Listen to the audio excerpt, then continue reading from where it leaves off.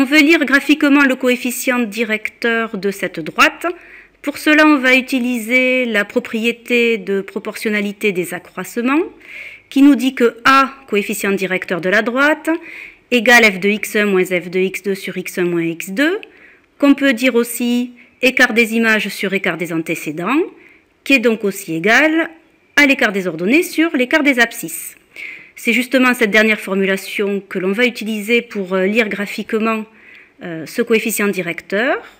Pour cela, on va choisir deux points de la droite, deux points bien évidemment qui ont des coordonnées sur les nœuds du quadrillage. Donc ces deux points étant choisis, on va donc euh, estimer l'écart des ordonnées entre ces deux points. Donc cet écart ici, sur cet exemple, est de moins 3, puisque on descend donc euh, sur l'axe des ordonnées, donc dans le sens négatif.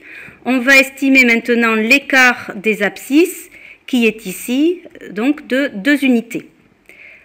On peut donc maintenant déduire le coefficient directeur de cette droite, qui est donc égal à moins 3 sur 2.